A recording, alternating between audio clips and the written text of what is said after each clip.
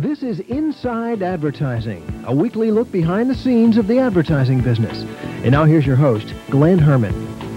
It happens to each and every one of us about 1,700 times every day. Whether consciously or subconsciously, we are registering commercial impressions. Think about it. We have television, have radio, newspaper advertisements, and magazine advertisements, and billboards.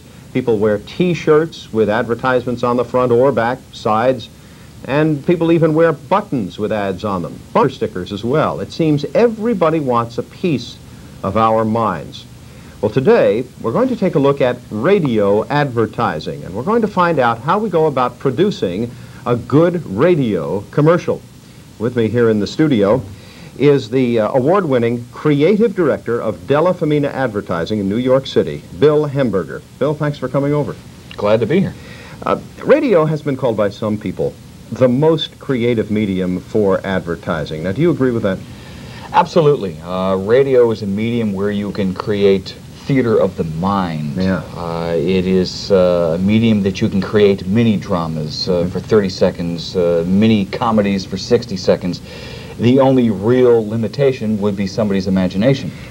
How does the process begin? Uh, what are the things you consider when you go about writing a radio commercial? First of all, you must think about the audience that you want to reach.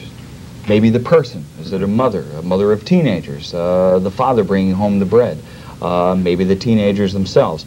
It also depends upon the product, on where the product is in the marketplace, on where the product is positioned in the consumer's mind, uh, how well established and so forth, and how much the commercial is going to cut through other commercial clutter.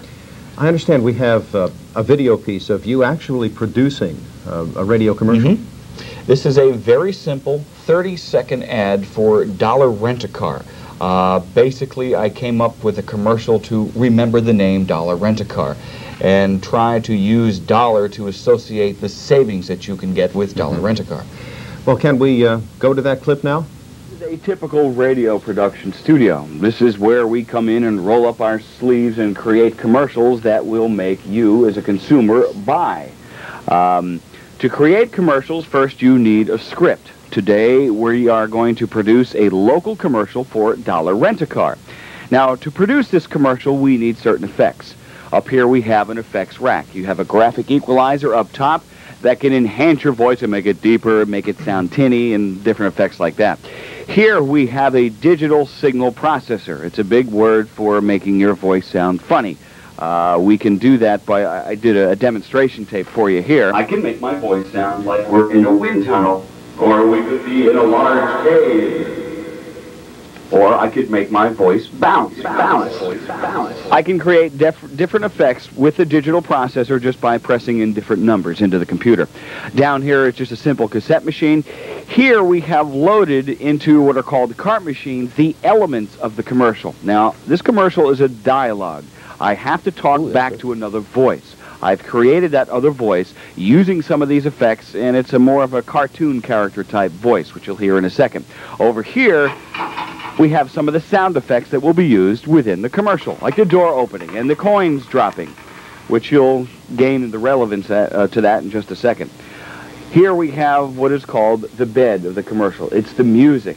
It gives the commercial flavor. Sometimes it gives the commercial its bounce, and so to speak.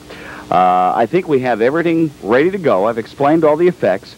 Uh, now let's produce this commercial for Dollar Rent-A-Car. I'm sorry? Now, the best way to do this is to get it in the first take so you don't waste the client's money. And I think we have all the elements ready, and this is Dollar Rent-A-Car. Take number one in three, two, one. Hi, welcome to Dollar Rent-A-Car. May I help you? Yes, uh, here's four quarters. I'd like to rent that Corsica out there. Well, you only gave me a dollar here in change, sir. Your dollar rent a car. Dollar. I give you a dollar, I rent a car here at Keble. Well, sir, what dollar rent a car means is we rent cars for less dollars than any other car rental place around. That's dollar rent a car, and we can prove it. I can't have the Corsica for a buck? Uh, no, sorry, but our prices are the best. Oh, okay. Dollar rent a car at Keble Chevrolet Olds Geo, Route 46, Budd Lake. And the music fades down. And that's how we complete a commercial. Well, that's very good, Bill. Uh, can you uh, describe exactly what you were trying to do with that commercial? Well, with rent a car, there's a lot of places you can rent a car. Sure. Uh, we tried to get through with this commercial on how you can remember the name Dollar Rent a Car, its benefits and so forth. So we created an absurd situation. Uh, where does anybody rent a, a, a car for a dollar? uh, we created a situation where we dropped quarters for sound effects as Sure. opposed to dropping a dollar bill. Well, you can't would hear anything when a right, dollar exactly. drops, Um, and we tried to draw the listener in with dialogue and also the sound effects. All in about 30 seconds. Uh, you've done, uh, changing the subject, you've done a lot of TV, newspaper, magazine, billboard, uh, but you're claiming radio is your favorite medium. Radio is fun. Radio is so versatile. Um, I can have two people with a very intimate conversation, but yet it's still one-to-one because radio is a very one-to-one medium. Sure. Uh, I can create very serious type 30-second plays, sometimes calamity, sometimes confusion. I'm trying to create a dramatic message and just do it with the voice to leave an impression. You hear a lot of jingles on the radio. Uh, are jingles, in your mind, considered uh, very effective?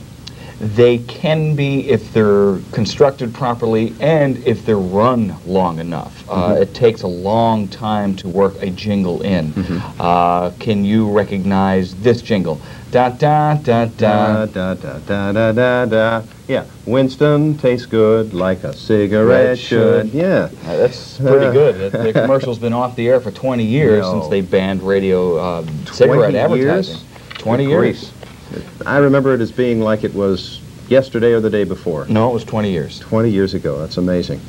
Magic of music, huh? the magic of melody. People tend to listen to melody, they'll remember melody a lot quicker than they would the spoken word. Winston now spend 10, spends 10 times as much money in advertising just to try for you to remember their slogan. Do you remember their slogan? Do you know what it is now?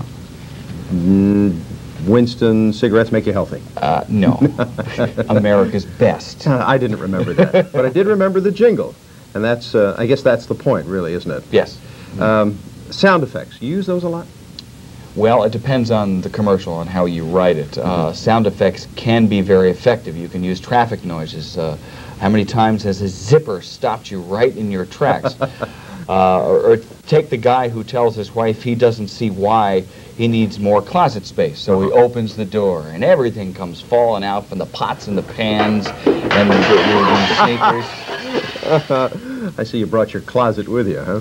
Did you hear something? Yes, I did. I heard something. I think that's the point, isn't it? It Bill. Hemberger, I want to thank you for uh, giving us an idea as to what goes on in at least one twisted mind, yours, uh, you, namely, thank behind you. the scenes in advertising. I hope you can join us again soon. Yeah, sure, I'd like to. And thank you for uh, listening and joining us on Inside Advertising next week.